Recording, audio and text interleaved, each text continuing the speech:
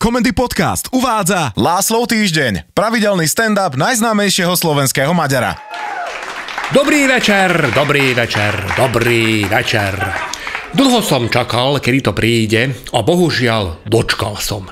Ildiko ráno zahlásila, že ideme nakupovať vianočný výzdoba. Ono tak tematicky vždy vyzdobí celý dom. Momentálne sme v štádiu, že všade sú tekvice, svrtky a bosorky. Jedna objavila aj na toalete skoro v životnej veľkosti a keď som prvý raz vošiel na Halloween do tej miestnosti, tak sa mi moč v trubici prepol na spätný chod a môj tlakomer nebol schopný zachytiť dáta. Takže na jednej strane teším, že všetky tieto šeplety zmiznú, ale na strane druhej to znamená, že z pivnice budem musieť navláčiť vianočné girlandy, jeleňov, Mikulášov, Betlehem, andelov a všetko, čo dojako súvisí s Vianocami. A napriek tomu, že nič nevyhadzujeme, tak každý rok mojej manželke zdá, že je toho málo. V Hornbachu stojíme s vozíkom v šóre, malý Jágoš to nejak ochytával všetky trblietka, tak vyzerá, ako keby vrátil z dúhového pochodu, ktorý končil LGBT disco party. A asi to poznáte, kvôli covidu to vyzerá tak, že sú strašné šóry, lebo ak dodržiavate odstupy, tak máte pred sebou 5 ľudí a šóra má 10 metrov.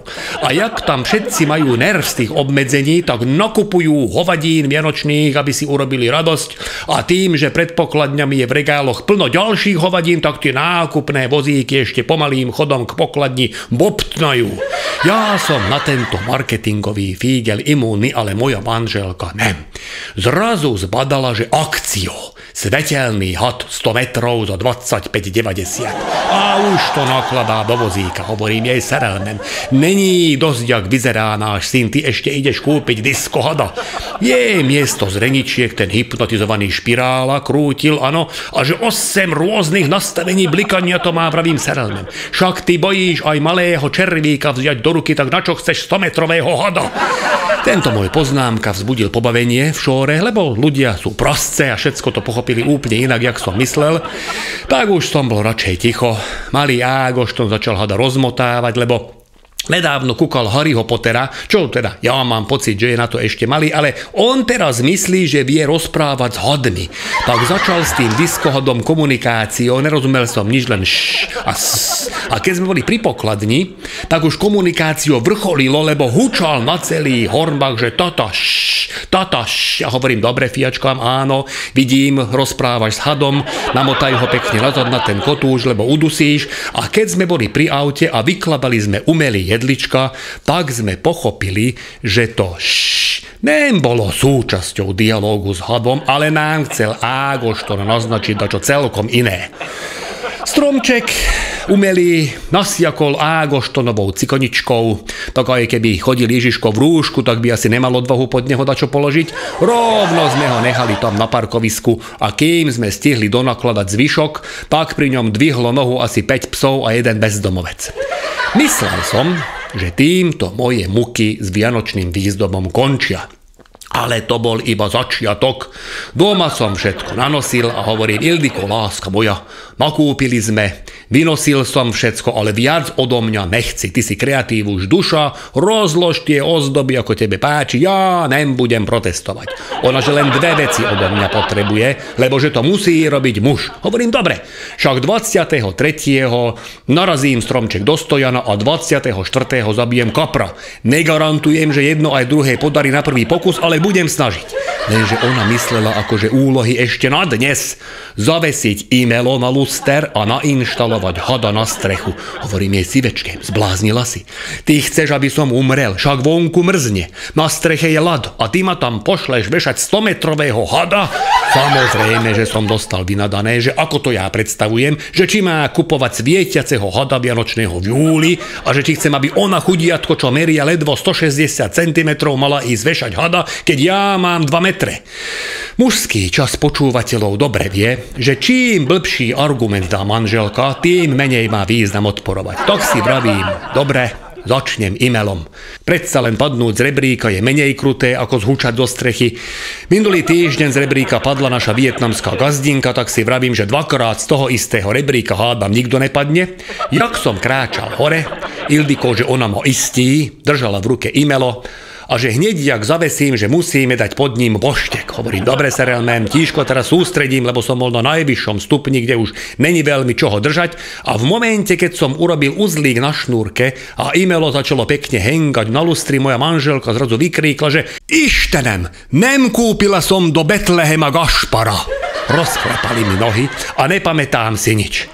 Prebral som, až ako nado mnou skláňa Ježibaba zo záchoda. Akurát, že bola oblečená v zdravotníckom kombinéza. Úpadol som zase na chvíľočku do bez sebavedomia a keď som stabilizoval, tak mi bolo vysvetlené, že som z rebríka padol a temenom som rozbil 1,5 metrového sádrového Mikuláša, čo vraj ešte Ildiko musí so mnou prebrať, že nového kupujem z môjho vreckového. No a musela volať záchranku, ktorá ma oživovala umelým dýchaním z úst do úst.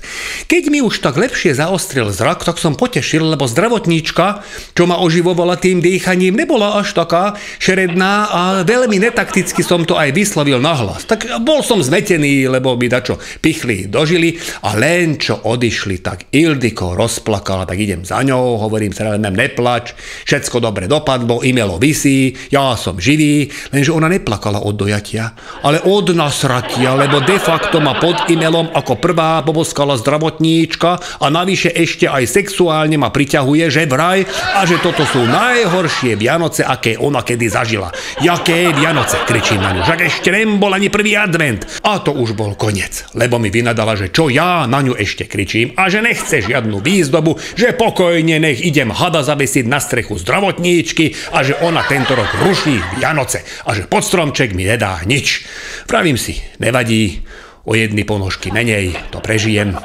Zase mužskí počúvači pochopia, že nemalo význam debatovať. Nehal som ju plakať v kúte, obliekol som seba aj Ágoštona, zobral som 100-metrového hada a odhodlane som oprel 10-metrový rebrík vonku o strechu domu.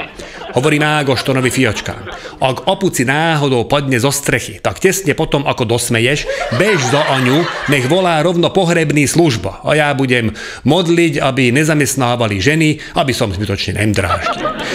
Po dvoch hodinách trpezlivého posúvania na streche, keď som postupne obmotal a pripevnil hada okolo celého domu, som opätovne narazil na rebrík a Agošton už dole nebol, čak aj som chápal, keď Apu nezahúčal do troch minút, tak to už je nuda. Pripol som ku koncu hada predlžovák a slávnostne som pripravil pri vonkajšej zásuvke. Vojdem dnu, Akurát končili oteckovia v telke, takže emočne bola Ildiko naprogramovaná na rozsvietenie domu. Vyťahnem ju von, už bola ideálna tma, postavil som ju tak 20 metrov od domu, hovorím tu stoj a kúkaj. Zapnem hada do štekra. A nič. Tma. Vyťahnem a zapnem znova. Kontrolujem ističe. Šteker v poriadku. Pochopil som. Mám taký nerv, že urobím zásadný chyba a obviním z toho Ildiko. Vybehlo zo mňa, že vidíš sa relmem. To je preto, lebo kupuješ veci z brklo pred pokladňom len preto, že je to akciou. Ona dvakrát nadýchla a potom dala odvetu, že nemlacikám. To je preto, že ty vždy robíš celý život ten istý chyba. Aj na stromček vždy najprv navešáš žiarovky a až potom skúšaš, či svietia. A 4 z 5 prípadov nem svietia. Prečo ty nikdy, ale že nikdy najprv neskontroluješ, či to čo funguje a až potom, keď funguje, tak použiješ. No, mala pravdu že ja som toto pravidlo nemuplatnil skôr, ako som ju zobral za ženu. Ale to som samozrejme nepovedal nahlas, aj keď vlastne by som mohol, lebo Ildiko už bola v dome a buchla za sebou dverami tak silno, že uvoľnil prvý drôtik na svetelnom hadovi a postupne začali uvoľňovať ďalšie, až sa celý had za postupného pukania drôtikov zmotal okolo domu a na záver slávnostne strhol zo sebou kus ríny. Do prvého adventu hádam, stihnem dať všetko do poriadku. Ja mám teda na týždeň o program postarané a vám želám, aby ten váš bol čo najpohodohovnejší. Vysont, látaj.